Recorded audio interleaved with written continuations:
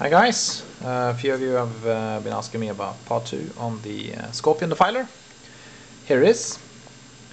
So, check it out.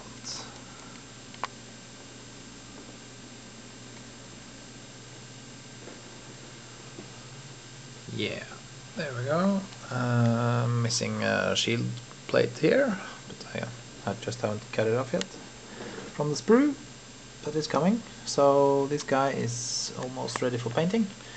Uh, if you see down here, uh, probably too dark, but uh, inside there is the pilot, which is some kind of robotic head thing from the, the Defiler kit.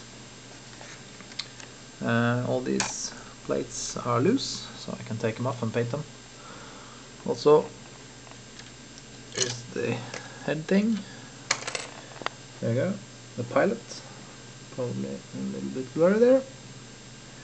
So yeah, uh, for transportation all the, the claws can be removed and this turret, there we go, uh, might replace that with a magnet. So yeah, my Scorpion Defiler.